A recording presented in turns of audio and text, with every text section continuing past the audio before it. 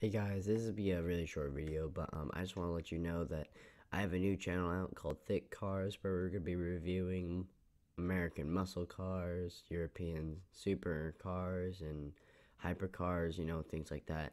Um, so, yeah, go ahead and check it out if you're a car kind of person, you really like cars. My first video is already up. It's a review for the Dodge Demon, one of my favorite cars ever. So, yeah, I'll see you guys later.